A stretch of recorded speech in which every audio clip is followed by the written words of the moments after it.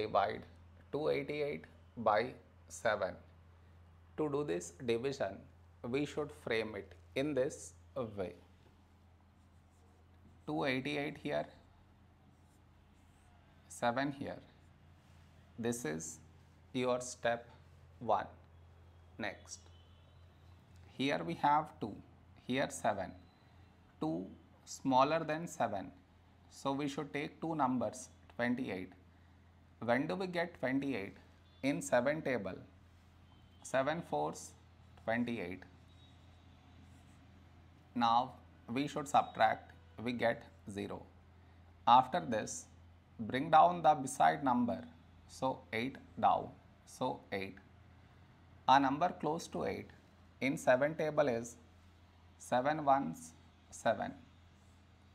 Now we subtract, we get 1. After this, no more numbers to bring it down. So what we do is we put dot, take 0. So 10.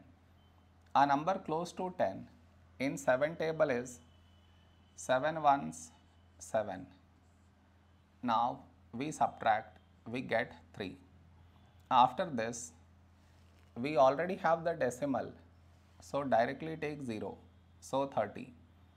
A number close to 30 in 7 table is 7 fours 28. Now we subtract, we get 2 and the division continues. It is enough if we do up to 2 decimal places